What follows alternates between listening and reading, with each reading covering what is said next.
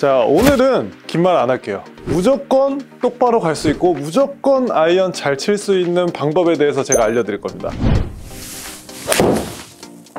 이렇게 똑바로도 보내고 싶고 왜 프로님들 스윙 보면 아이언 칠 때 이렇게 여기서 지금 4분의 3에서 이렇게 멈춰져 있는 모습을 보잖아요. 제가 오늘 왜 그렇게 돼야 되는지 그리고 아이언은 또 down blow에서 치라고 하는데 어떻게 하면 그럼 down blow로 칠 수 있는지 짧은 드릴 훈련도 한 가지 알려드릴게요. 자 첫 번째 여러분들이 지켜주셔야 될 게 뭐냐? 일단 4분의 3 스윙이에요. 근데 잘 보세요. 머리가 고정된 상태에서 4분의 3 스윙은 이 로테이션이 착 빠르게 들어가기 때문에 훅이 나요. 자 공을 치는데 아이언 같은 경우는 방향성을 논하는데 몸이 막혀 있으면 이렇게 무조건 훅이 나게 돼 있어요. 드라이버 같은 경우는 로테이션이 있어야 슬라이스가 안 나고 똑바로 가지만 이 아이언은 좀 다릅니다. 아이언 같은 경우는 로테이션이 거의 없다고 보시면 돼요. 내 몸이 리드를 해서 손과 클럽을 가지고 안아주고 간다 생각해야 돼요. 자 그러면 몸을 도대체 어떻게 써야 되냐?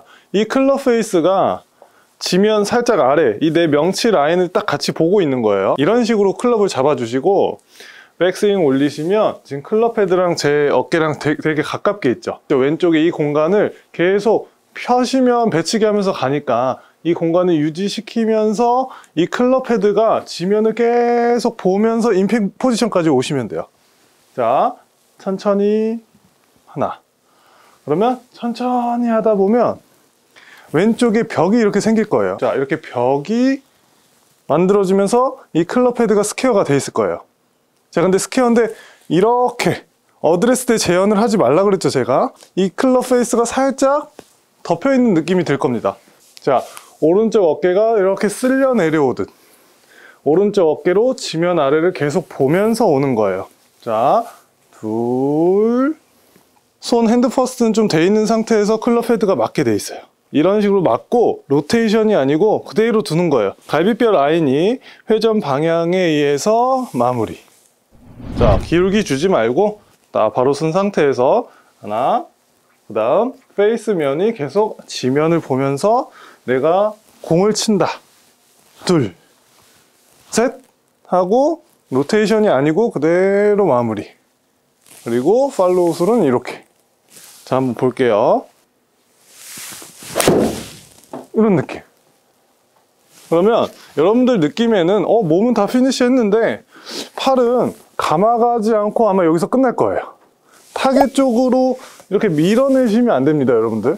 좀 과장된 표현이지만 절대로 여러분들 아이언 치는데 똑바로 치겠다고 손이 타겟 쪽으로 이렇게 밀어내는 행동은 굉장히 안 좋은 행동 중에 하나예요. 자 공을 치고 내 몸이 갈비 라인이 내가 보내고자 하는 곳으로 회전을 계속 하다 보면 일로 빠져나와서 이렇게 follow through 피니시가 만들어지게 돼 있어요.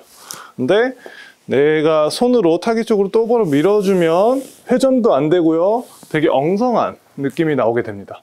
그래서 방향에도 문제가 생길 수 있지만 이건 볼 contact 자체에 문제가 생길 수 있어요.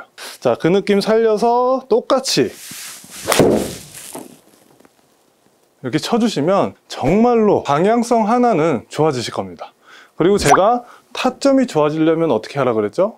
같은 박자로 움직이면 된다고 했죠. 이 부분은 제가 매 영상마다 지금 드리고 싶은 말이에요. 방향, 거리 다 떠나서 일단 공이 맞아야 되잖아요 여러분들. 그러려면 절대로 이렇게 뭔가 역동적인 것보단 올라가는 스피드, 내려오는 스피드 천천히 살살 치자가 아니고요.